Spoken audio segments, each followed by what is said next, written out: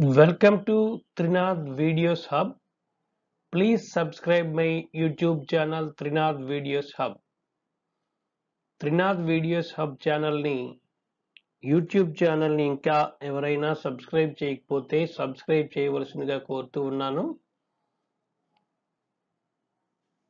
today chapter is applications of trigonometry applications of trigonometry అంటే త్రికోణమితీయ అనువర్తనాలు.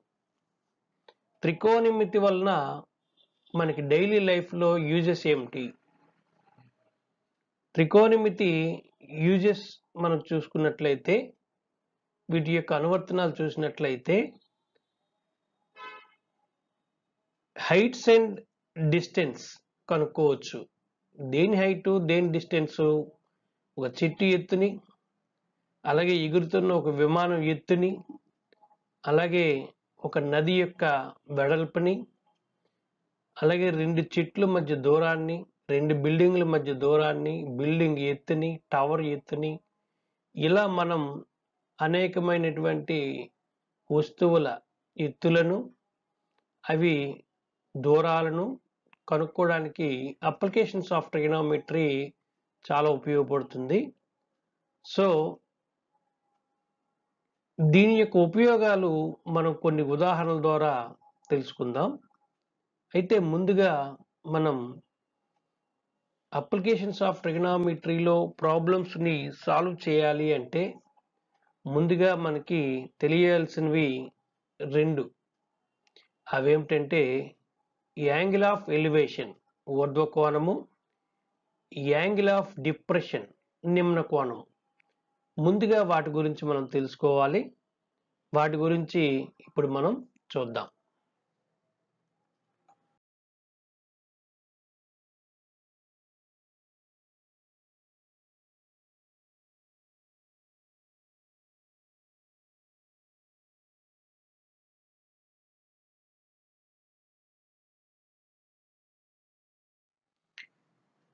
ఇక్కడ మీరు జాగ్రత్తగా అబ్జర్వ్ చేయండి.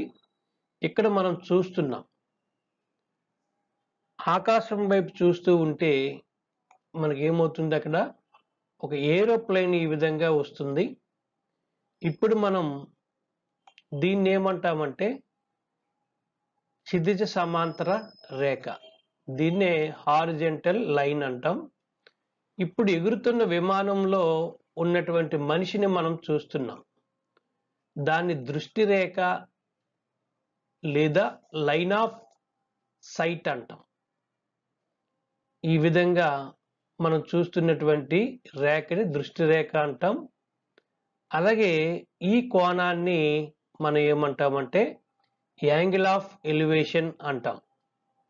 అలాగే ఊర్ధ్వ కోణం అంటాం. అయితే నిమ్న కోణం అంటే ఏమిటో ఇప్పుడు చూద్దాం. ఇప్పుడు ఈ విమానంలో మనకి ఇక్కడ నుండి మనం క్షితిజానికి సమాంతర రేఖ గీస్తాం. దీన్ని హారిజెంటల్ లైన్ అంటాం. అయితే ఇక్కడ హారిజెంటల్ లైన్కు ఇక్కడ విమానం నుండి ఈ వ్యక్తిని చూస్తున్నప్పుడు ఇక్కడ ఏర్పడేటటువంటి కోణాన్ని మనం ఏమంటాం? నిమ్న కోణము. దాన్నే యాంగిల్ ఆఫ్ డిప్రెషన్ అంటాం. అంటే మనం సింపుల్గా చెప్పుకోవాలంటే మనం భూమిపై నుండి ఇప్పుడు ఇక్కడ మనకి చూడండి ఇక్కడ మనకి ఇక్కడ ఒక క్లాక్ టవర్ కనిపిస్తుంది. దీనికి సంబంధించినటువంటి క్వశ్చన్ ఈ విధంగా ఉంది. The top of a clock tower is observed at angle of elevation of alpha degree and the foot of the tower is at the distance of d meters from the observer. Draw the diagram for this data. ఇప్పుడు మనకి ఇక్కడ కొంత దూరం నుండి ఒక వ్యక్తి clock టవర్ని పరిశీలిస్తున్నాడు దాని పైతలాన్ని టాప్ని దానికి సంబంధించినటువంటి కోణం ఇక్కడ ఎంత ఇచ్చాడంటే ఆల్ఫా డిగ్రీస్ ఇచ్చాడు యాంగిల్ ఆఫ్ ఎలివేషన్ అంటే ఊర్ధ్వ కోణం.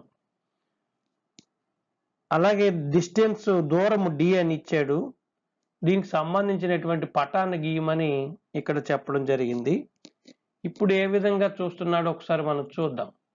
ఇక్కడ అబ్జర్వరు పరిశీలకుడు ఈ విధంగా క్లాక్ టవర్ ఇదేమిటిది? హారిజెంటల్ లైన్ ఫస్ట్ మనం గీసుకోవాలి. ఇక్కడ మనం చూసినట్లయితే ఈ విధంగా ఈ క్లాక్ టవర్ తాలూకా టాప్ని ఈ విధంగా చూస్తున్నాడు. ఇక్కడ డిస్టెన్స్ డి క్లాక్ టవర్కి అబ్జర్వర్కి డిస్టెన్స్ డి ఈ యాంగిల్ అనేది మనకి ఇక్కడ ఆల్ఫా. అలాగే క్లాక్ టవర్ హైట్ మనం ఇక్కడ ఆ విధంగా బ్లూ డాట్స్తో తీసుకున్నాం. సో దీనికి సంబంధించినటువంటి డయాగ్రామ్ని ఇక్కడ గీయమని చెప్పాడు. దాన్ని ఏ విధంగా గీస్తారో చూద్దాం. ఇక్కడ చూడండి ఈ విధంగా ఈ ట్రయాంగిల్ని ఇక్కడ గీసుకోవడం జరిగింది. ఇప్పుడు దీనిలో మనం నేమ్స్ తీసుకుంటాం. ఏ బిసి అలాగే ఇక్కడ యాంగిల్ ఏమవుతుంది? ఆల్ఫా అలాగే ఈ డిస్టెన్స్ తర్వాతను ఈ పటాన్ని మీరు జాగ్రత్తగా అబ్జర్వ్ చేయండి. ఇక్కడ అబ్జర్వ్ చేస్తే ఇక్కడ ఏం చేస్తున్నాడు ఏం ప్రాబ్లం అనేది ఒకసారి మనం ఈ ప్రాబ్లం ఒకసారి చదువుదాం Rinki observes a flower on the ground farm ground from the balcony of the first floor of a building at an angle of depression beta degrees. The height of the first floor of the building is x meters. Draw the diagram for this data ఇక్కడ ఏమంటున్నాడంటే Rinki first అంతస్తు నుండి ఈ బిల్డింగ్లో first అంతస్తు నుండి కిందన చెట్టు మీద ఉండేటటువంటి ఒక ఫ్లవర్ని చూస్తుందట. చూసేటప్పుడు అక్కడ ఏమన్నాడంటే ఇక్కడ మనకి at the angle of depression B degrees beta degrees sorry beta degrees అన్నాడు. అంటే ఇక్కడ బీటా డిగ్రీస్ అంటే ఏ కోణం అవుతుంది? నిమ్న కోణం అవుతుంది. అలాగే height of the first floor X meters ఇచ్చాడు. దీనికి సంబంధించినటువంటి డయాగ్రామ్ గీయమన్నాడు. ఇక్కడ ఏం చేస్తుంది అనేది చూద్దాం. ఈ విధంగా రింకి వస్తుంది. ఇప్పుడు ఇక్కడ ఉండేటటువంటి హార్జెంటల్ లైన్ ఈ విధంగా మనం గీసుకున్నాం. ఇక్కడ ఏం చేస్తుంది? ఇక్కడ ఫ్లవర్ని చూసింది. గ్రౌండ్లో ఉండేటటువంటి ఒక చెట్టు మీద ఉండేటటువంటి ఫ్లవర్ని ఈ విధంగా చూసింది. ఇక్కడ మనకి ఏర్పడే కోణాన్ని మనం చూసినట్లయితే మనకి ఈజీగా తెలుస్తుంది. ఓకే? అయితే ఇక్కడ కోణాన్ని మనం తీసుకున్నట్లయితే ఈ కోణాన్నే మనం నిమ్న కోణం డిప్రెషన్ యాంగిల్ ఆఫ్ డిప్రెషన్ అంటాం. అలాగే ఇక్కడ కూడా మనం హారిజెంటల్ లైన్ గీసుకున్నాం ఇక్కడ గీసుకున్నాం. ఇక్కడ మనకి ఎల్లో కలర్లో కనిపిస్తున్నటువంటి ఈ యాంగిల్ని ఏమంటాం?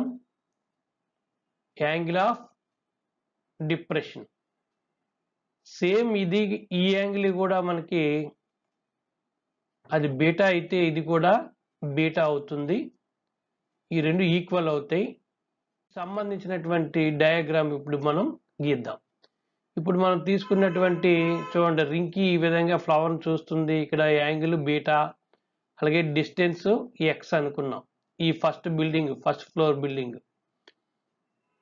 అలాగే ఇప్పుడు ఇక్కడ గీసుకున్నాం చూడండి ఇది ఎక్స్ ఫస్ట్ ఫ్లోర్ హైట్ ఇది ఎక్స్ బిల్డింగ్ ఇక్కడ నుండి కొంత డిస్టెన్స్తో ఇక్కడ ఒక అబ్జర్వర్ ఉన్నాడు. అలాగే ఇక్కడ కూడా దీనికి ప్యారలల్గా ఒక లైన్ గీసుకున్నాం. హార్జెంటల్ లైన్ని. ఇప్పుడు ఇక్కడ నుండి క్రింది వైపుకు ఇక్కడ ఉండేటటువంటి ఫ్లవర్ని చూడడం జరిగింది కాబట్టి ఇక్కడికి ఈ విధంగా ఒక లైన్ గీసుకున్నాం. అది ఏ అనుకున్నాం? ఇది బి ఇది సి అలాగే ఇది డి అలాగే ఇక్కడ యాంగిల్ బీటా. అప్పుడు ఈ యాంగిల్ ఎంత అవుతుంది ఇది కూడా బీటా అవుతుంది. ఇక్కడ యాంగిల్ ఆఫ్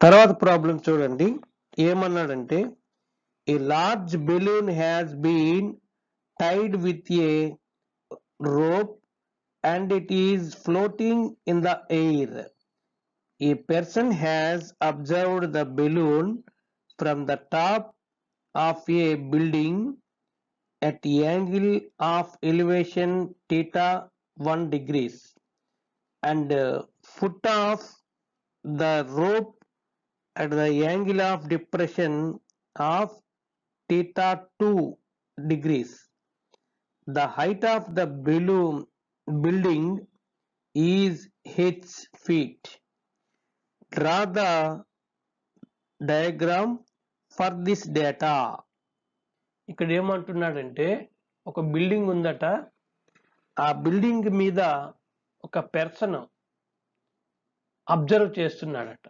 ఏమిటి అబ్జర్వ్ చేస్తున్నాడు? ఒక ఎగురుతున్న బెలూన్ అబ్జర్వ్ చేస్తున్నాడట. ఈ విధంగా ఇక్కడ చూడండి. ఇక్కడ మనకి ఒక పెర్సన్ ఈ విధంగా రావడం జరిగింది. ఇక్కడ నుండి ఈ విధంగా ఒక బెలూన్ని ఈ విధంగా ఎగురుతున్న బెలూన్ ఒకటి ఉంది. హైట్లో చాలా హైట్లో. ఇప్పుడు ఈ పెర్సన్ ఏం చేస్తున్నాడంటే ఇది మనకి హారిజెంటల్ లైను అలాగే ఈ హారిజెంటల్కి స్ట్రైట్ లైన్ ఒకటి మళ్ళీ ప్యారలల్గా హారిజెంటల్ లైన్కి ఇంకొక హారిజెంటల్ లైన్ గీయడం జరిగింది. హారిజెంటల్ లైన్ ఈ పెర్సన్ ఏం చేస్తున్నాడు? బెలూన్ తాలూకా ఫుట్ క్రింది భాగాన్ని ఈ విధంగా చూస్తున్నాడు.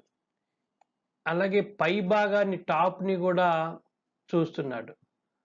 అంటే బెలూన్ టాప్ని బాటమ్ని ఈ విధంగా చూస్తున్నాడు. ఇక్కడ యాంగిల్స్ కూడా ఇవ్వడం జరిగింది. ఈ యాంగిల్ టీటా వన్ పైది క్రిందని రెడ్ కలర్ టీటా టూ. ఈ విధంగా పైకి చూసే యాంగిల్ టీటా వన్ క్రిందికి చూసే డిప్రెషన్ యాంగిల్ ఎంత అండి టీటా టూ. ఇది టీటా టూ అయింది కాబట్టి ఇక్కడ కూడా మనకి ఏమవుతుంది ఈ రెడ్ కలర్ ఈ రెడ్ కలర్ ఇది కూడా టీటా టూ అవుతుంది. చూపించాలి. ఏ విధంగా గీస్తామంటే ఫస్ట్ ఇది బెలూన్ హైట్ అలాగే ఈ బిల్డింగ్కి డిస్టెన్స్ బెలూన్ నుండి అలాగే బిల్డింగ్ హైట్ ఇక్కడ చూపించాం.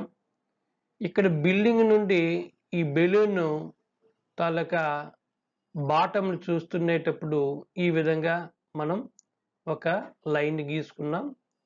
అలాగే ఇది హారిజెంటల్ లైన్. అలాగే బెలూన్ టాప్ను చూస్తున్నాం. అదొక లైన్ గీసుకున్నాం. ఈ యాంగిల్ తీటా వన్. ఈ యాంగిల్ చూసినట్లయితే తీటా టూ. ఈ యాంగిల్ తీటా టూ అవుతుంది. వీటికి నేమ్స్ ఈ విధంగా ఇక్కడ height building height H. So ఇక్కడ నేమ్స్ని మనం A B C and D E, ఈ A B C D E e. ఈ విధంగా మనం నేమ్స్ని గుర్తిస్తాం. ఎగ్జాంపుల్ చూద్దాం. తర్వాత ఎగ్జాంపుల్ చూసినట్లయితే ఇక్కడ చూడండి. ఇక్కడ ఏమన్నాడంటే మనకి ఇక్కడ చూడండి.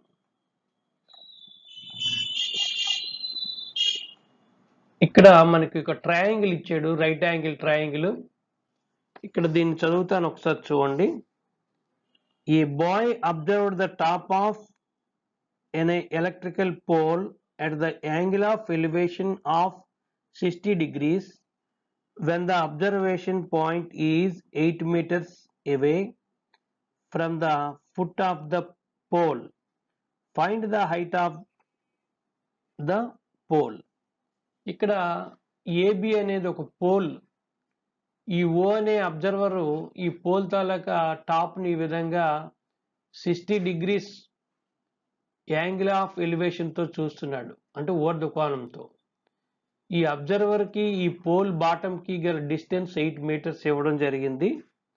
ఇక్కడ ఏం కనుక్కోమన్నాడంటే ఏబి కనుక్కోమన్నాడు పోల్ హైట్ని కనుక్కోమన్నాడు హెచ్ ఈజ్ ఈక్వల్ ఎంత? ఇప్పుడు OB is equal to eight meters అలాగే ఈ angle AOB is equal sixty degrees tan sixty degrees formula ఏమిటండి మనకి? Tan sixty tan A is equal formula ఏమిటి మనకి? ఇక్కడ ఇక్కడ మనకి ట్యాన్ ఓ మనం తీసుకున్నట్లయితే ఇక్కడ